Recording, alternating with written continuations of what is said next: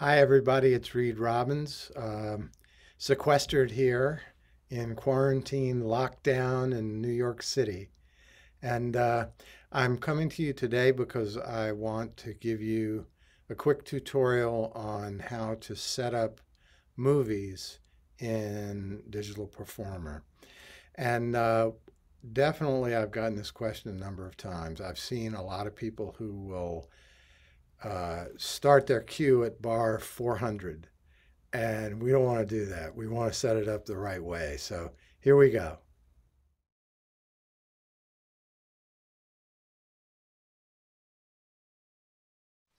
Okay, so I'm a big believer that if you organize the kind of thing that we're going to be doing here by checklist, then you will be able to set your mind towards more creative things. The first thing is I'm going to show you the movie I've made for us to consider. And here it is.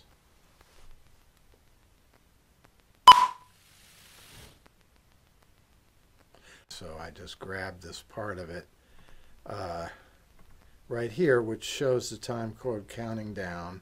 And then I just stopped at a uh, one hour frame. Now, one hour, why is that? Uh, the equipment that used to be used, and maybe it's still true, um, would freak out if you went from a minus number to a plus number with time code. So we don't want zero hours, zero minutes, zero seconds, and zero frames. What we want is for it to start on one hour. That way we can have some pre-roll. Now, if we look at the beginning of this, we'll see that the very first frame in this capture is 59 minutes, 55 seconds, and zero frames. So, when we go into DP and we import this movie, like so. The first thing we have to do is set the movie start time. And you do that by right clicking and here it is, set movie start time. So as you can see, I've done a little research on this. So it is what this is. So I'm going to put the movie start time in there. So now it will know where the movie starts. Always get burned in time code if you can.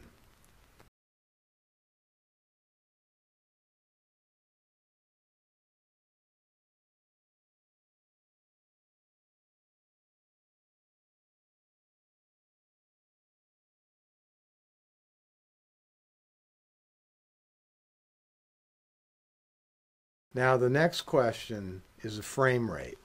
Okay, so if I go to this movie and I open it in QuickTime Player, I can look at the movie inspector right there and it will tell me a lot of data about this movie. Uh, one thing is the frames per second, right? Now this says 23.98 and in actuality, it is that frame rate is really 23.976 frames per second. Now, Digital Performer has all the frame rates that are commonly used here, and you can also use a non-standard frame rate, which I'm not going to open that because I don't need it. But so this is uh, 23,976 frames per second. So now that we have that set up, we'll go, we've, I've created a cue here, which you see right here. And I am going to set the chunk start time. And I have it set to one measure, real time is zero, and then this should be our frames. There, right. So the first bar is on one hour, uh, zero minutes, zero seconds, zero frames, okay? Now, I work with it a little bit. I figure out I want a certain tempo. So I'm going to go now into the event list and I am going to, wait a minute, I need to be in the conductor track And there's a number of different ways to do this, but the point is, is you need to put in a tempo change. So let's say I wanted to do 150, and I'm going to put it in at bar 1. Okay, there we go. So now we have a tempo event of 150 at bar 1. Now, of course, you say to yourself, well, you know, I'm going to need a little pre-roll to get into this, and also what if I have a pickup bar? here's what you do. You go into project, conductor track, insert measures. And what we're going to do here is we're going to insert three measures at the start of measure one. And this is very important, maintain all times following the insertion point. So that means three measures is going to be measure zero, measure minus one, and measure minus two. Now, I'm just going to show you this real quick. We go to the chunks, and we look at the chunk start time right there. Okay. Now, watch what happens when I insert those bars. Project, conductor track, insert measures, three bars before the start of bar one, maintaining all times following the insertion point. And now we have minus 2, minus 1, 0, and 1. Now watch what happens when I go to bar 1. Bar 1 is right on that. If I pull the movie to the front, the arrow keys back up by frames or go forward by frames. You notice that this, which is showing us the frame rate, and this, which is also showing us the burn-in frame rate, are right in sync with each other, right? And it starts at bar 1. So if I put bar 1 in here, the frames are at 0. And here's another beautiful thing. If we look at real time, that's also 0. The reason that's good is because then you can see the actual time of the movie. Because the real time is the time of the movie. The frames are the time code, which show you basically basically going to be offset by an hour. So we're all set. Now the only thing that might come up with this is that the director might say to you, "Oh, you know what? I would really like to have this cue go faster." So then what you do is you go back. Of course, I could just undo, but um, go back, snip this out, Control J, oh no, I'm, I'm sorry, Command J. Um, and then you'd have to go back here and set this to its default, uh, which would be measure one, all zeros, and then one hour and all zeros, and no time code bits. Then you'd go to the event list, change the tempo to what you needed it to be. Event list always pops to the to the instrument MIDI channel, whatever. So you need to do it. So let's say it's 160 now. All right. Then I would go back in again, insert measures in the conductor track, and then, like magic, we're back to this.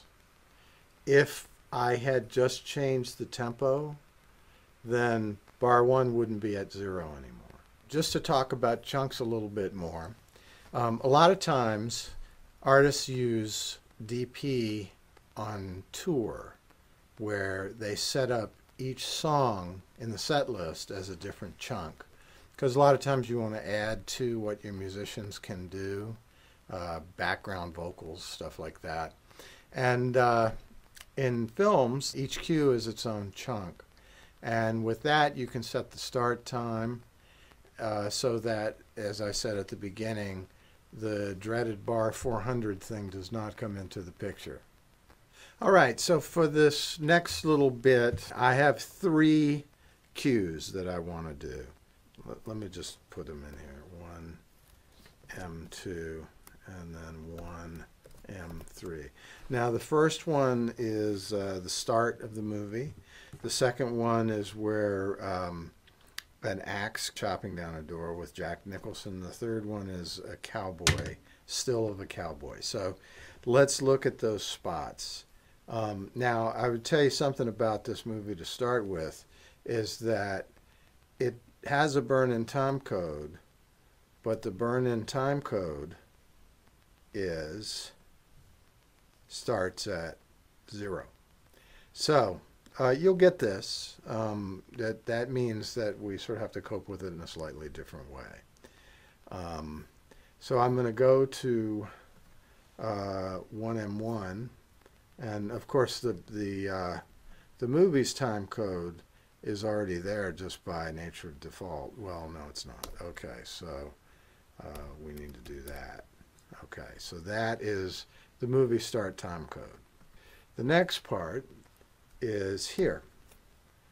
Set chunk start time. We're going to want it to start. Now I've worked this out myself at uh, 7 seconds and 8 frames, like that.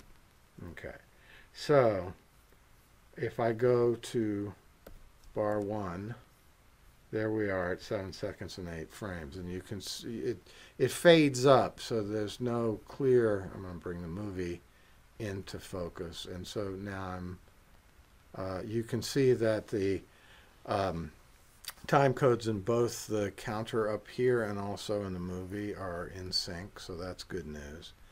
And there we go. So I'm just going to back up to bar one there, and there we are. We're in sync with the time code.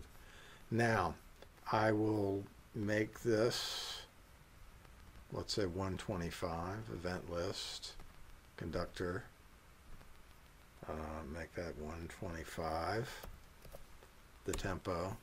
Now I'm going to go in here to project, conductor track, insert measures, three measures at the start of measure one, so I'll do that. If you look here, that has changed the values in this particular chunk start time because it is adjusted for you. It's minus 2, now it's minus 5 seconds and 76 hundredths, and then it has a start time here of 1 second 13 frames plus the 72 time code bits. So that is what you have there. Now, I'm just going to I'm going to go through this very quickly. The next place where we want a cue is 1 minute 53 seconds and 13 frames. So I'm going to do that right now. And notice it, it defaults to one hour, so I have to make it zero hours. 1 minute 53 and 13 frames. Now this, that's right there. That's where the axe goes into the door. The next one is going to be at 2 minutes 52 seconds and 9 uh, frames. So that's zero again. You got to watch out for that or you'll be wondering where you're movie is. And so then, if I go into this chunk, play enable this chunk, you see that is it right there. If I move it to the front, go back, that last frame is something else. So there is where we get into that next bit. So we're there. The next thing is to go into these chunks and put in our pre-roll, project, conductor track, insert measures. And you know, we have what we want, three measures, uh, at the start of bar one and maintain all times following the insertion point, meaning that 1 minute 53 seconds and 18 frames is where we want the insertion point to be still. So it has to change the chunk start, which it did. It changed the chunk start from what I put so that we could have that pre-roll. And then again, if I put here, there we are with the axe. That's the moment right there where the axe actually hits. And then with this one, we'll put this into play and we'll do the same thing. We are going to uh, project, conductor track, insert measures. We'll do our same all three measures. And now with that, we have the same thing. So there's the cowboy thing. All right, so I'll save that. And uh, let's just throw some stuff in here. So if we go back to 1M1, I have that polysynth here and MIDI, and I'm just going to go into the MIDI editor here, and I'm just going to go to bar one. I will come up here and I will just write an A major chord? So back to the pencil tool, mm -hmm. pencil tool, and then uh, back to the arrow, and then I'm just going to pull that out till I notice the movie Scrubs. That's pretty cool. So um, you can you can use that to find out how far something should go. Just option it. Um, let's see that, and then there. So then just going to start here. Okay, so that's our first cue. It's the easiest film score I've ever had to write.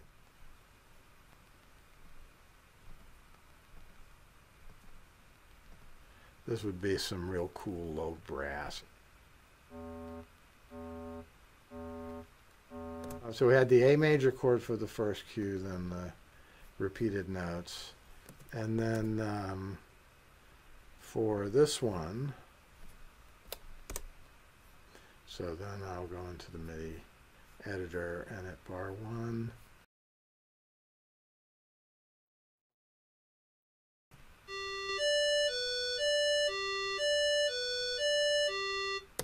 That's embarrassingly bad. But anyway, so now check this out. This is where it gets fun.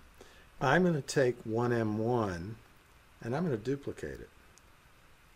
Uh, let's see, control, uh, control click, and then I'm going to, it's option click to, to rename it. I'm going to call it complete movie or something like that this will be your chunk where you play the complete movie from. So now I'm going to just take this. Actually, I'll start from bar zero. Let's pretend we have a count off measure. I'm going to bounce it.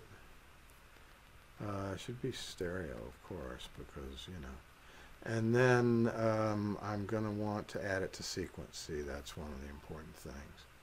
Uh, so I'm adding that to the sequence just bouncing that in place. Then I'm going to go to Q2, start from bar 0, stereo adding sequence, and then this one right here.